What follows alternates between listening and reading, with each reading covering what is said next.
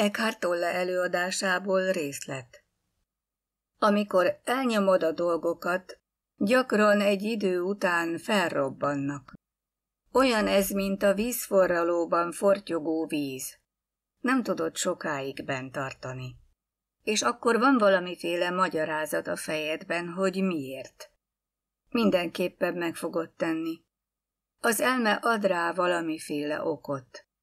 Bizonyos cselekedetek megtörténnek. Olyan dolgokat teszel, amelyekről tudod, hogy nem a legjobbak, de nem tudsz segíteni rajta.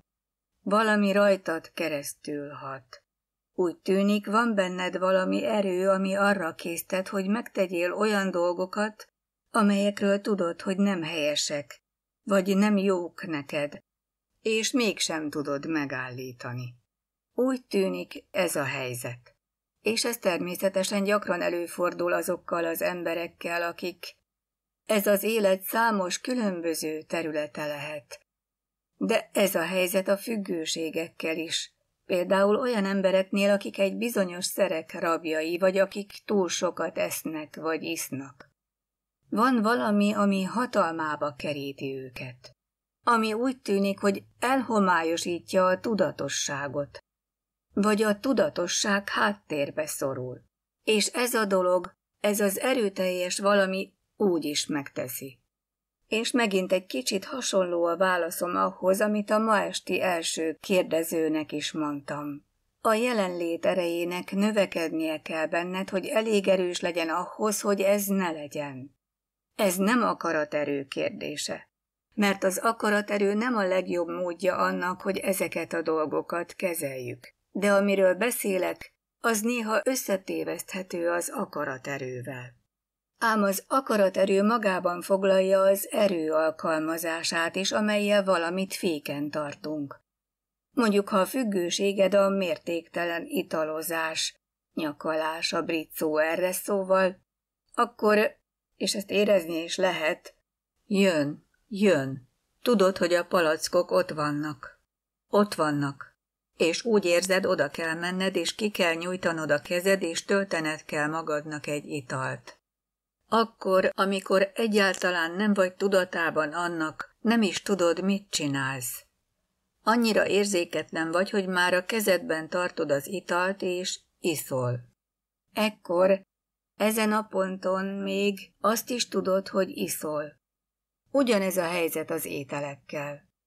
Beszéltem olyan emberekkel, akiknek ételfüggőségük volt, Gyakran mondják, hogy az éjszaka közepén felébrednek, miután már megvacsoráztak, már-már öntudatlanul oda mennek a hűtőhöz, kiveszik a csokitortát, és már a csokitorta felénél tartanak, amikor rájönnek hirtelen, mit művelek. Tehát a tudatosság nagyon későn jelentkezik. Az akaraterő az lenne, ha visszatartanánk a késztetést. Mondjuk akár itt van a példa, amit mondtál be akarod kapcsolni a tévét, és tudod, hogy ez most nem helyes, mert nem ezért jöttél ide. És tulajdonképpen azt mondogattad nekünk, hogy ne tegyük ezt. De én nem tehetek róla, muszáj mennem, nem tudok. Most az akaraterő azt mondaná, hogy ezt le fogom tudni állítani. Nem fogom ezt megtenni, és már érzed a késztetést, és te visszatartod. Amikor elnyomod a dolgokat, Gyakran egy idő után robbanás történik. Olyan, mint a forró teáskanna. Nem tudod olyan sokáig bent tartani. És akkor van valamiféle indoklás a fejedben, hogy miért teszed. Mindenképpen meg fogod tenni. Az elme ad rá okot. Beszéltem egy férfival, aki ételfüggő volt, és teste nagyon rossz állapotban volt, mert rendkívül veszélyesen túlsúlyos volt. Sajnos elhunyt, de csodálatos ember volt. Beszélgettünk, és elmondta, hogy gyakran mielőtt túlzott evésbe kezdett volna, az elméje valami olyasmit mondott, hogy nehéz napod volt, tényleg megérdemelsz egy kis élvezetet. Megmagyarázta, hogy ez miért helyes. Nem fogom sokáig csinálni, de csak ma. Éppen ma tényleg igazán szükségem van egy kis finomságra. Az élet nem kényeztet el, ez az egyetlen örömöm. Mit tegyek? Ez minden, amin van. Nincs más öröm az életemben. Rendben. Menj oda a hűtőhöz. Megpróbáltam megmutatni neki, hogy ez egy megtévesztő gondolat, és volt egy kis sikerem, de sajnos már túl késő volt ahhoz, hogy megmentsem. Nos, már nincs a testében, de ez rendben van. A lényeg, valószínűleg most az ellenkezőjébe reinkarnálódik, talán azért, hogy megtanulja a leckét. Ismétlem, amit az első kérdezőnek mondtam, hogy gyakorold a jelenlét erejét, amikor nem kísért különösebben semmi. Amikor csak a szobádban tartózkodsz, ott nincs különösebb kísértés. Gyakorold az érzékszervi érzékelést. Érezd a test minden sejtjét átható jelenlétet, a belső testtudatot. Hogy így legyen elég a jelenlét, amikor ez az impulzus jön. Úgy használjátok, mint nem mondjátok, hogy múlj el, vagy valami ilyesmi, mert nem fog elmúlni. Úgy is jön. A hatás jön, bármi is legyen az. És ha megfigyeled, rá fogsz jönni, hogy ez nem jó dolog, amit tőled akar. És ha elég tudatosságod van, használd úgy minden alkalommal, amikor ilyen impulzus érkezik. Ez a te különleges, spirituális gyakorlatod. Tehát ahelyett, hogy meg akarnál szabadulni tőle, üdvözöld, amikor egy ilyenfajta késztetés jön, és lásd meg, hogy ez a kifejezetten neked szánt spirituális gyakorlat. Természetesen ez az. És akkor hogyan lehet ezt spirituális gyakorlattá alakítani? Először is felismered, hogy ez egy lehetőség a gyakorlásra.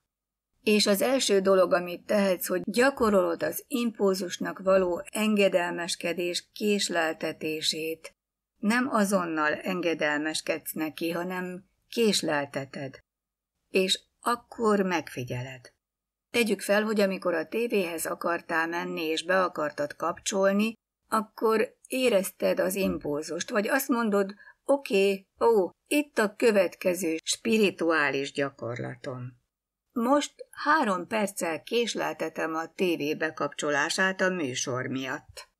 És ez alatt a három perc alatt megfigyeled a benned lévő impulzust. Megfigyeled. Ez egy energiaforma, és te megfigyeled. Ott vagy, tessék, és érzed. Olyan, mint egy kis gremlin, vagy ilyesmi. Tehát ez az időhézag nagyon hasznos első gyakorlat lehet ha bevezetsz egy időrést, mielőtt megadnád magad. Nem azt mondod, hogy én nem engedek ennek. Nem. Három percet rászánsz. Ez alatt a három perc alatt figyelni fogsz. És rávilágítod a tudatosság fényét erre az impulzusra, amely egy energiaforma. És ez lehet egy energiaforma, amely egyfajta érzelemként van benned. Az is előfordulhat, hogy ártalmasan behatol az elmédbe, és arra késztethet, hogy megtedd. A magyarázat, amit az imént említettem ezzel a barátommal kapcsolatban, az, hogy a gondolat beférkőzik a fejedbe. És ez a gondolat az, amely megmagyarázza, miért kell engedned ennek az impulzusnak. Ez könnyen megtörténhet, és ott is eléggé jelen kell lenned, Kellően tudatosnak kell lenned ahhoz, hogy ne higgy minden gondolatnak. Különösen az ilyen gondolatoknak. Nem hiszel minden gondolatnak, ami felmerül a fejedben. Ó, megfigyeled a gondolatot, mert a gondolat része annak. És még a gondolatra is azt mondod, hogy ó, hát ott vagy. Ott van a gondolat, és ott van az érzés a gondolat mögött. És három percet szánsz rá és ez alatt a három perc alatt megállapított, hogy ez nem érdekes. Csodálatos spirituális gyakorlat. Miközben figyelsz, növekszik a tudatosságod. Tudatosságot gyakorolsz rajta. Használd rá a tudatosságot. Csak három perc. Majd a három perc elteltével nézd meg, hogyan érzed magad. Lehet, hogy már megszűnt a késztetés, de valószínűleg még nem. Még mindig ott van. És akkor megnézheted, hogy tudnék-e még két-három percet szánni rá. Elég erős vagyok ehhez. Elég erős a tudatosságom. És igen, az. Ne hidd, hogy esetleg... Nem, hagyd abba ezt a badarságot. Mindenképpen csináld. És akkor elérsz öt vagy hat percet. És akkor mi történik ezután? Nem tudjuk.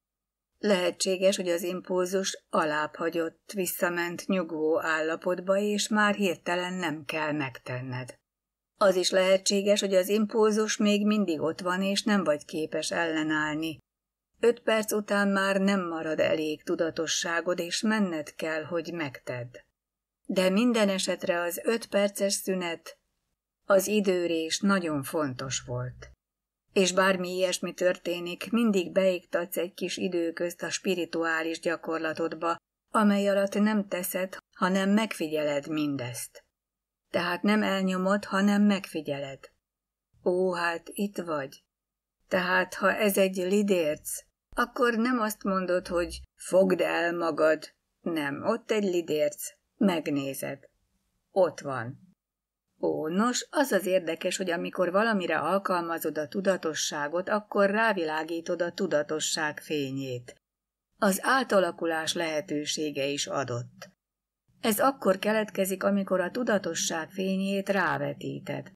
Ez az ismert példa a tündérmesékből. A béka. Nem ölöd meg a békát. Teszel vele valamit. Megcsókolod a békát. Igen, és abban a pillanatban, amikor megcsókolod, királyfivá változik. És hát így ott áll a béka. Ez olyan, mint a mítoszok. Van némi bölcsesség beágyazódva ezekbe a tündérmesékbe, amelyeket egyébként sokszor nem azok az emberek alkottak meg, akik megírták őket. Ezek már hosszú időn keresztül szájhagyomány útján terjedtek. Tehát ezek mítoszok, amelyek gyakran sok bölcsességet tartalmaznak. És minden bizonyal sok bölcsesség rejlik a béka meséjében, a megcsókolásában, amely aztán valami széppé válik. Szóval van valami csúnya, de te elfogadod és nevetsz rajta. Ránézel, és akkor megtörténik az átalakulás. Ez tehát a spirituális gyakorlat és egy idő után azt fogod tapasztalni, hogy kezdetben, talán az időrés után még mindig megteszed. De aztán fokozatosan ez az időköz egyre hosszabb lesz. És akkor megfigyelheted, hogy az impulzus mögött álló energia gyengül, és a következő alkalomig alább hagy. De fokozatosan gyengül. És mindezek az önkárosító mechanizmusok aztán fokozatosan kezdenek eltűnni, ha tudatosságot alkalmazol erre. Figyeld meg! Ott van. Szóval gondolja békára. Ezek mind békák. Akármik is legyenek, lidércek, békák, amelyek energiamezőként élnek benned. És az energiák ott vannak csapdába esve. Ott rekedtek. Nem önmagukban rosszak, hanem csapdába estek mint ahogy a fájdalomtest is egy energia, érzelmi energia, ami meg van kötve. Amikor a fájdalomtest feloldódik, átalakul jelenlétté. Olyan ez, mint a tűz. Amikor egy fahasábot teszel a tűzbe, az elfogy és átalakul. Talán ez a jó szó. Átalakul jelenlétté. És itt van ismét egy híres példa a középkorból. Bizonyos filozófusok nagy érdeklődést mutattak az alkímia iránt. Az alkímia a nem nemes fémek aranyá alakítása egy kémiai átalakulási folyamat révén. De az alkímia valódi értelme az emberi tudat átalakulása volt. Sok kép van erről, és így tovább. Nem beszélhettek és írhattak erről nyíltan, mert akkoriban az egyház kivégezte volna őket tehát el kellett rejteniük ezeket a szimbólumokat. Mintha a nem nemes fém aranyá történő átalakítása valami olyasmi lenne, ami először is egy nem túl kívánatos valami átváltozása, csodálatos dologgá. És ez az átalakulás alkímiai folyamata, ami valójában az emberi pszichében van. Van egy egész hosszú értekezés, amelyet Carl Jung pszichológus írt az alkímiáról. számtalan illusztrációt és lenyűgöző ismeretet tartalmaz. De ez a valami egy kezdetben nem kívánatos dolog átalakulása, tudatossággá. És ez, szóval, szerencsés vagy, hogy rendelkezel ezzel a személyre szabott spirituális gyakorlattal.